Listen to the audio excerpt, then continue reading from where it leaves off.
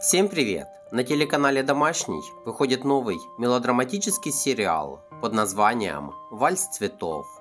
Елена открывает собственный магазин цветов, собирает красивые композиции и пытается угодить клиентам. Отзывчивая и позитивная бизнес-вумен мечтает о благополучии, приветливо отзывается на любые просьбы и пожелания, проводит на работе все собственное время – Пока супруг, страдающий игроманией, проигрывает последние гроши, она старается для будущего семьи и детей, о которых давно мечтает.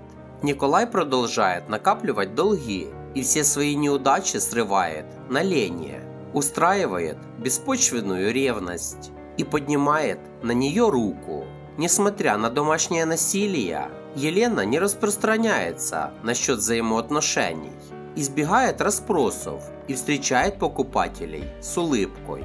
Терпение девушки лопается, когда она понимает, что беременна, и теперь она не даст себя в обиду. В результате скандала она теряет память и оказывается невестой незнакомого человека. Премьера четырехсерийного сериала «Вальс цветов» состоится 25 октября на телеканале «Домашний».